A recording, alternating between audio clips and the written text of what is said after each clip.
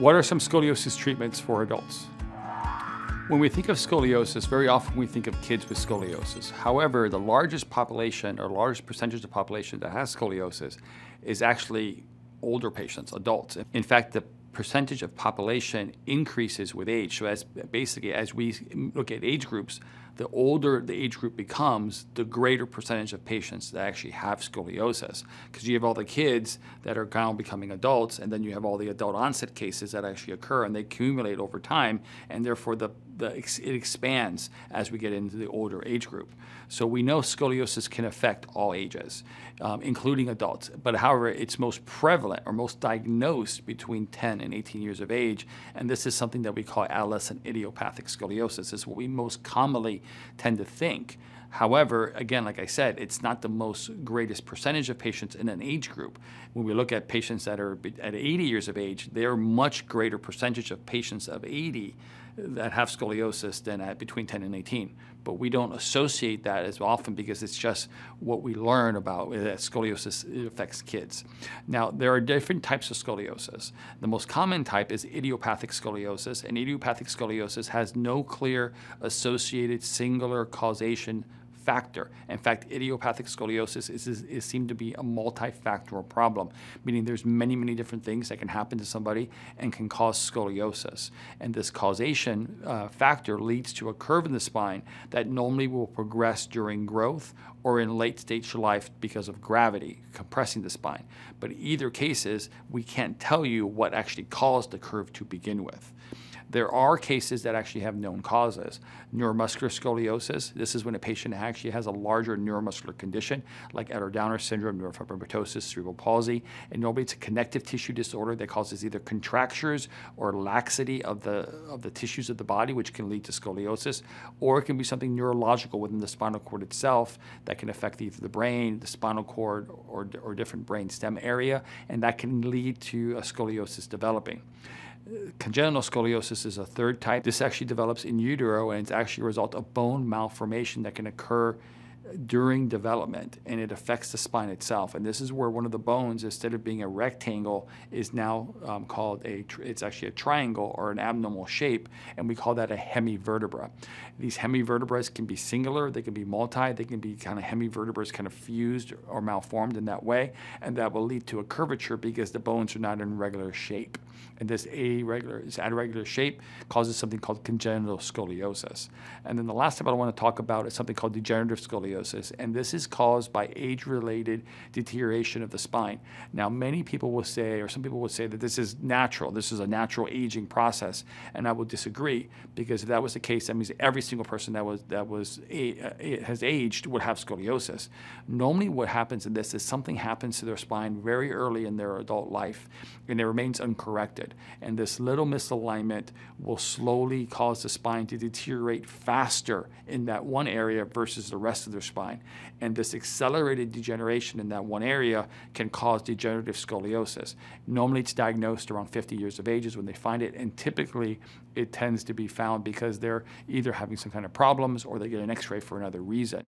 So out of those types of scoliosis, which are the main two that affect adults? Well, first of all, it's adult idiopathic scoliosis.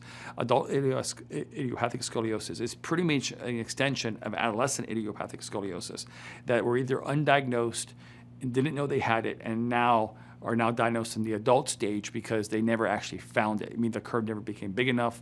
They never either either tested or examined, or you know, and it's progressing now in the adult stage, and now we're starting to. that's when they actually find it. Or it could be also patients that actually had adolescent idiopathic scoliosis and then just left it, and they, and now they're dealing with it in the adult stage. So literally every adolescent case eventually becomes an adult case, and that becomes adult idiopathic scoliosis. And by the way, 90% of adolescents are diagnosed as idiopathic scoliosis. It's by far the largest category of diagnosis.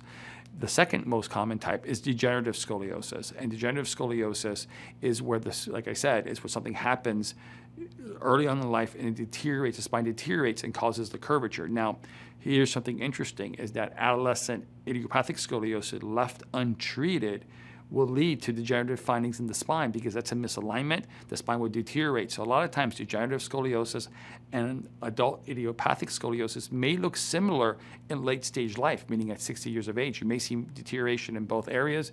You may, and then one person could say, yes, I had scoliosis as a child. The other person would say no. And there's sometimes it's hard to distinguish unless there's some clear findings in a degenerative scoliosis versus an adolescent scoliosis. But in later stage life, sometimes it can be hard to, to distinguish the two between them because they kind of can both have degenerative findings at the same time. So the main symptoms of adult scoliosis is simply pain. What normally brings on treatment of scoliosis in the adult form is pain. Most commonly, the pain starts around 40 years of age, and it normally it happens because the spine is compressing over time, and it tends to cause localized back pain. It can lead to radiating pain, most commonly felt in the legs and feet. It can be postural changes. We tend to see more leaning to one side, uneven shoulders, uneven rib arch, arches, uneven hips. It can also affect hips, knees, and feet. If you think about it, if the spine's out of alignment, just like if a car's out of alignment, it, the first things to start to wear abnormally are going to be the lower extremities. Start causing hip problems, knee problems, feet problems, and you think that you have some problems there, but truly it's because the alignment above is causing asymmetrical wear, and because of this, it can affect balance and it can affect gait. So left untreated, scoliosis can lead to lots of different things because it's affecting the entire biomechanical system of the body. And since everything attaches to the spine, it can not only affect other issues mechanically, but remember, all your nerves go through your spine as well. So it can start to affect nerve function.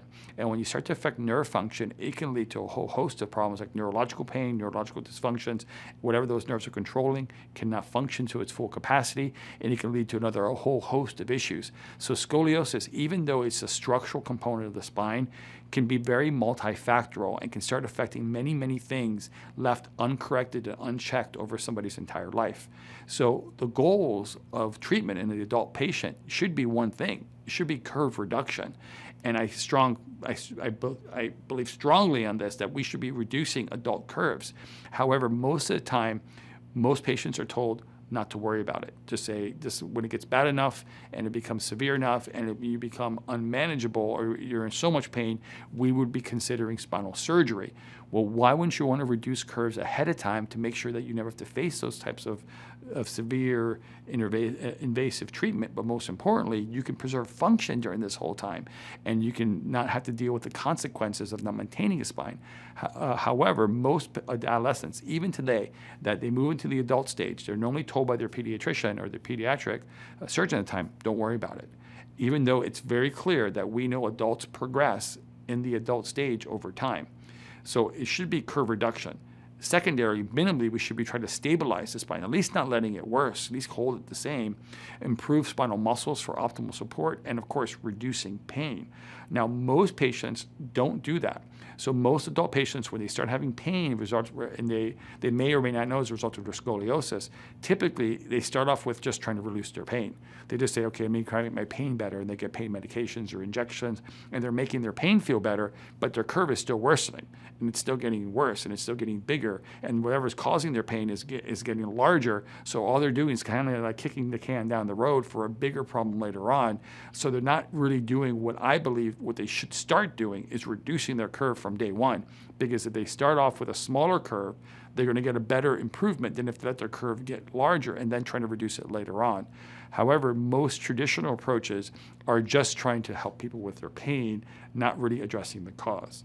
So, some common treatments for adult scoliosis most these adult patients, when they start having pain, they go to try a whole host of things. They try chiropractic care. They go get some office therapy or physical therapy. They try home exercises. They hire physical trainers. They may go to an orthopedic surgeon and get injections. They may sometimes get bracing. They, they try all these different things, and, and, and it may or may not be very effective because nothing is combining all these treatments into a corrective approach. And where most of these things failed is that most of these patients, they go in with back pain and they're treated like they hurt their back. They treat it like they had an injury. And what I mean by that is they go in there and they get something called low dose, long duration treatment. And low dose, long duration treatment is the way you rehabilitate an injury, like a car accident, a slip or fall, something along those lines. And they get a little bit of care over a very, very, very long time. And this little bit of care over a very long time helps them with their pain, but it doesn't reduce their curve. And their curve, unfortunately, can still progress. So what we do very differently in Scoliosis Reduction Center is that, first of all, we say it's, number one, never too late to get treatment. But two, is that we intensely invert that prescription. We do high dose, short duration care to get a very rapid reduction in the scoliosis. Then we use home therapy, home exercises, and home rehab and corrective bracing to help stabilize that spine after we've reduced it. So we want to reduce it and then hold that reduction to maintain spinal health and function, not only currently, but really in the future, reduce your pain and improve your quality of life so your curve doesn't have to continue to progress in the adult stage where now you're facing very invasive treatments like spinal fusion and surgery. Thanks for watching. I hope you found this information helpful. If you'd like to hear about other topics and information on scoliosis, type in the comments below and let us know. And finally, subscribe and hit the bell icon to be notified of when we publish content. Thanks.